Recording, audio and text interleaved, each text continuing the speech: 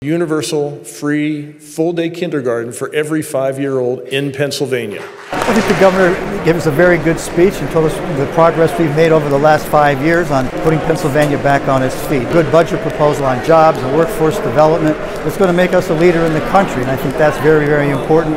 Extra funding for K through 12, early childhood education, that's incredibly important. Protecting the environment, and he also talked about some criminal justice reforms that I think are going to make a huge difference in making people eligible go back to work, reentry society. However, they're also protecting public safety. So I think it was a great speech and it was a great program for the future of the Commonwealth.